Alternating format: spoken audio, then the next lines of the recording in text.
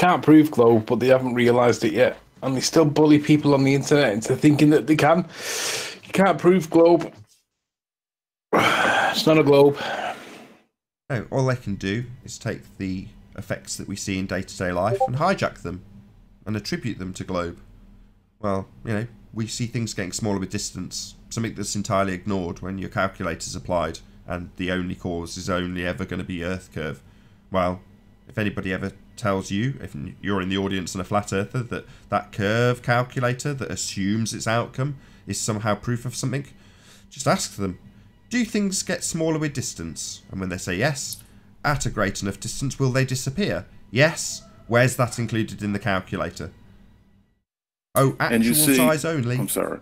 So I was just going to add, it's actual size only. So the mountain that's 3,000 feet is 3,000 feet if you're standing next to it. It's 3,000 feet if it's 30 miles. It's 3,000 feet if it's 300 miles.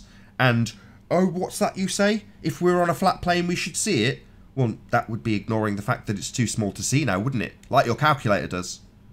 Because that's actually what we're seeing. Things getting smaller with distance. Linear perspective, not exponential curvature when put into a side profile, when removing all aspects of angular size. That's just bollocks. That's just the way you've all been tricked. You being the globehead muppets that think they live on a sphere and have absolutely no evidence to back it, other than linear perspective. That's it. And I was going to add that that's why they need a model because reality won't help them. Yeah, they need to reify the sphere first so that you automatically are standing on that sphere. The curve calculator begs the question. It automatically has you on the sphere, correct? I.e., they need a model so they can reify the model into existence because reality isn't a sphere. The reality of the Earth we dwell atop is flat.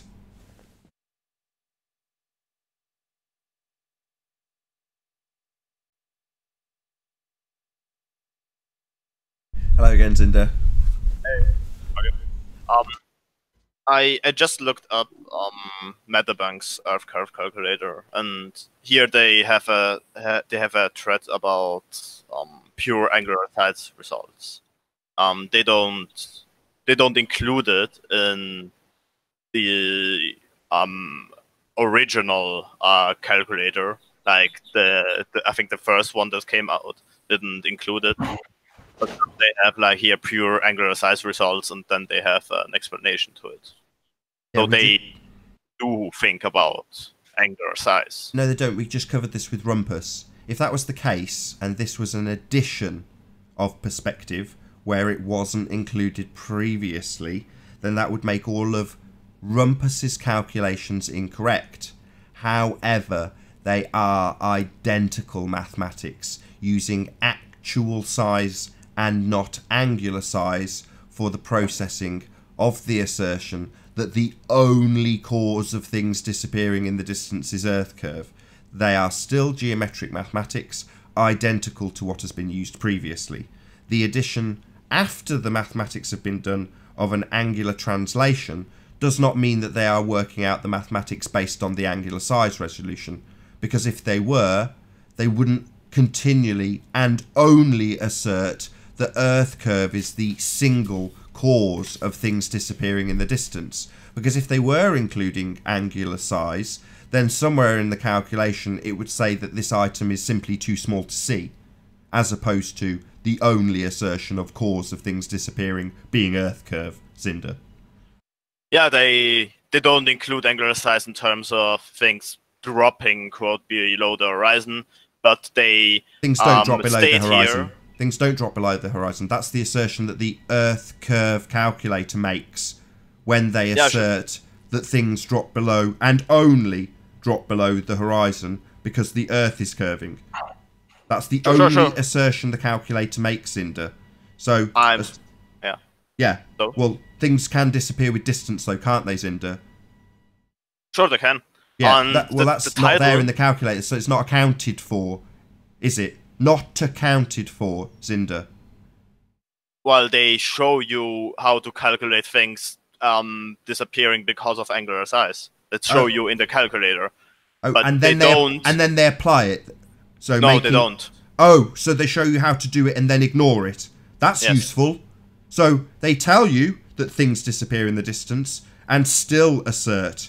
Wow, they're really pissing in your face in that calculator, aren't they, Zinder? They must think you're really stupid when they make that calculator think- for you. I think oh, No, they the don't. only reason the only reason they it's there now is because of this show and because of Nathan. That's the only reason. If if you weren't bringing that up, that that that would not be there. There's there But why would it? Why would they tell you about the angular size of something and then not apply it, Zinder? What's the point in that? They could tell you how to make chicken McNuggets next to that calculator and then completely ignore that. It'd just be irrelevant nonsense, wouldn't it? For, for the same reason why when I stand on a bathroom scale, it doesn't show me the temperature of the room. Sorry, we're looking at pictures. We're not weighing this picture of a sunset, are we? Are we weighing this picture, Zinder, or is this a false equivalence? Can you repeat? Uh, Are we weighing picture- this picture of a sunset, or are we comparing it to perspective exclusive geometry mathematics that only assert one cause? Or are we weighing it on a bathroom scale, Zinder? Oh, we are looking at two different reasons why things disappear, and this one shows you one of them. Two different reasons. No, no, no. Yeah. No, no. Things definitely disappear for the first reason. Things, you've conceded this on the last show. Things definitely disappear when they become too small to see in the distance, don't they? That's an absolute certainty, isn't it, Zinder? Yeah, that's a fact. Fact. it's ignored in the your eyesight, calculator. so when they tell you why things disappear in the distance, they ignore that. Perspective's ignored, and when things disappear in the distance, it's claimed the Earth curve causes it. Well, one of those things is a fact. The other one, Zinder, is people like Mick West pissing in your face.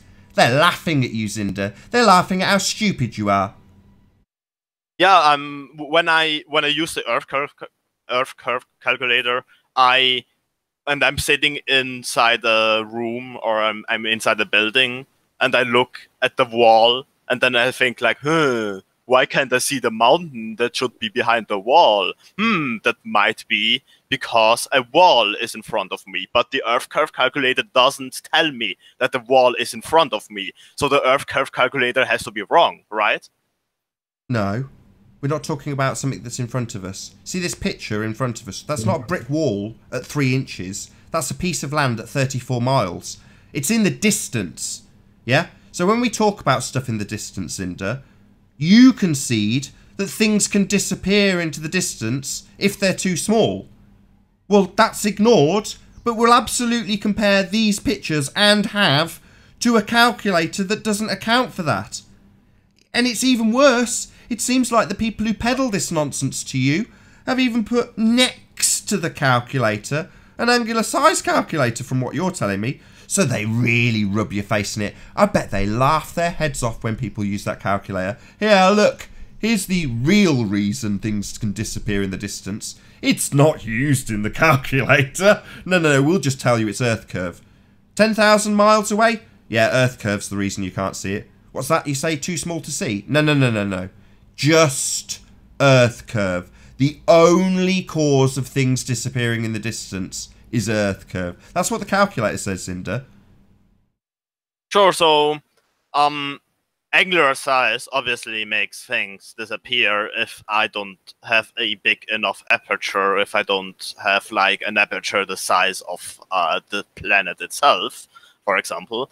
So obviously, when something disappears, there, as we discussed, there are two reasons. And what you still don't seem to understand is that one of the reason is angular size. The other one is that something in is in the way. The Earth, Earth curve calculator tells you when you are standing on a large body of water when the water will be in your way on a globe Earth. That's the only thing it does. It Yeah, doesn't I tell know. you about angular size. So what's it the problem? It only says something's obstructing the view, and that would be Earth curve. Well, what's it obstructing the view of? Could it be obstructing the view of something that's too small to see?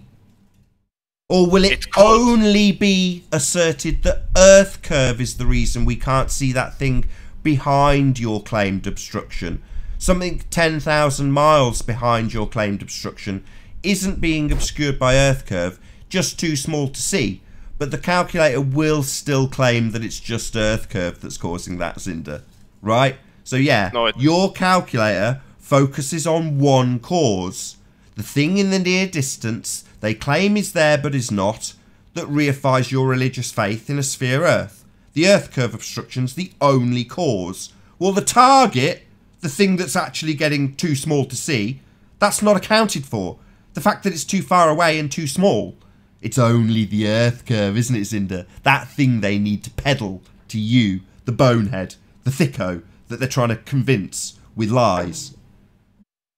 So, in other words, they they tell you if you had um, infinite uh, good and infinite vision, how far could you see over a large body of water? That's pretty Oh, much if- what if they it was want flat, to tell you. That's it. According to the mathematics applied in the calculation, geometric only, perspective exclusive, according to those stupid maths, they would assert that we could see New York from Wales. Well, you can't, Cinder. It's way too small of an angle to see New York from Wales. But the calculator, which excludes perspective, would make that assertion come to life when other retards say, Why can't we see New York from England? Wales. and we say, Because it's too small to see. But when you put that into an Earth curve calculator, guess what they say the cause is, Zinder? There's only one. Guess what it is? Earth curve!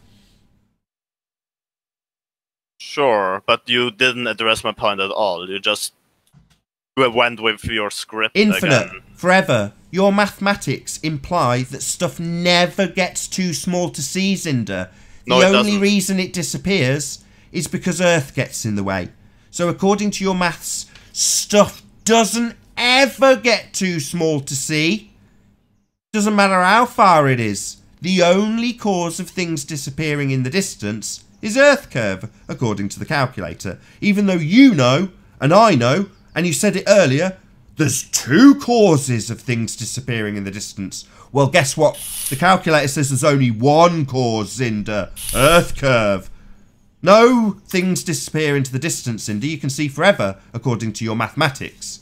There's no angular resolution limit, only Earth curve obstruction. Because what they've done is taken the fact that things disappear in the distance because they become too small with distance and claim that that effect is Earth curve getting in the way. The single only cause the calculator claims. Sure, I mean, if if you if you had a big if you had a big enough aperture, you could see theoretically infinite. No, you couldn't. Because No. the Wrong. Every What's wrong? aperture has a diffraction limit, calculable in the Rayleigh criterion. Again, I said this on the last show. How difficult it would be to account for all of the different apertures, you declared, again, like the retard you are, until I pointed out there is a calculation they could apply, called the Rayleigh criterion, and it was made clear by Bob, the fallacy guy. It's not included. So, this very real calculation that accounts for the diffraction limit based on the aperture is also ignored, Zinder. Guess what So they blame it on? So, if we did the calculation and the Rayleigh criterion said it's too far to see, it's too small, the camera can't resolve it, you know what the Earth curve calculator would say? Ding, ding, ding! No, no, no, it's actually Earth curve. So if if I see if a fly um if I look at the fly, it flies away. It gets too small to see, right? No, Um, Earth curve gets in the way. Aren't you listening? Listen again. It's only ever one cause of things disappearing into the distance. So unless you concede that that fly has gone from your view because Earth's got in the way, you're making my point for me. Yeah, the fly does disappear because of angular size, but when you put that into the calculator, that's not what it tells you. It tells you Earth curve got in the way. So there might be both reasons acting on something disappearing. Uh, oh, and they're both included. Because- And they're both included, right? They're both in the calculator then, Zinder. There's more than one cause. No! You're not listening, are you? When you say there's both, there's only one cause if you're a fundy zealot globehead. There's only Earth Curve to blame, Zinder. Don't you get it yet? There's only one cause in the Earth Curve maths. Earth Curve! not angular size, not perspective, not aperture based mathematics for the Rayleigh criterion. Only Earth curve, the single cause it asserts. One, not two. So if you're saying there's two, why the fuck isn't it in the calculator?